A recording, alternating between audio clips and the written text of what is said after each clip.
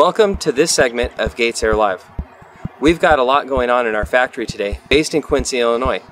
Let's go check it out.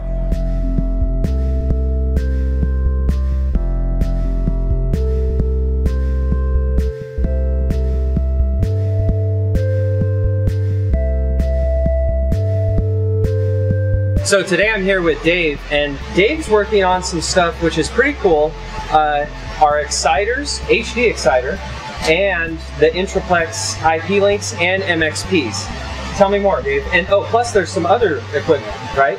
So tell me first, sure, what's going on with all the other equipment? Okay, so we have a spectrum analyzer. We have this is an FMXi that's used Okay, so importer exporter, importer exporter. Okay. To drive two exciters for our SFN system. single frequency network testing. Yes. Awesome. And then what's there's a new card in here? What, what's the new card? Yeah, It's the IP Link 100e So that's the exciter card, that does, Uh, that does connection of and then it has an IP link signal input right into the box. yeah. So it would connect up to the IP Link MX and MPXp.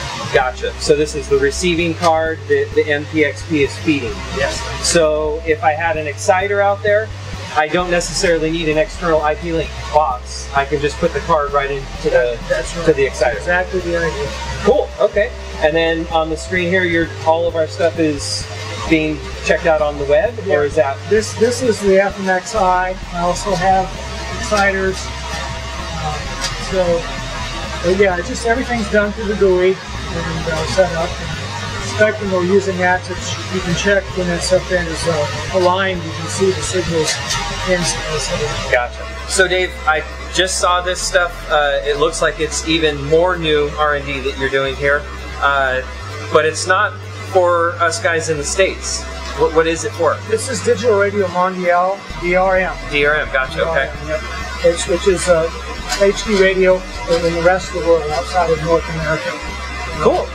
And what, what's special about this little part here that you're testing now? This is a version of our XGen. It's actually the same same hardware we use for HD radio, but formatted for DRM.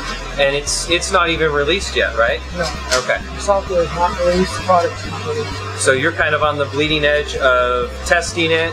Uh, you're also working with some of this other equipment here. I haven't seen that before, at least. This is a digital radio mondiale receiver. that Okay. We're using to verify performance of the system. Gotcha. Cool. Well, thanks for letting me interrupt your day. You bet. All right. Pleasure.